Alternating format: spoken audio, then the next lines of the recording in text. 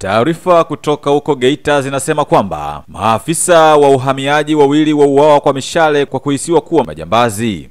Hii ni Nia Media.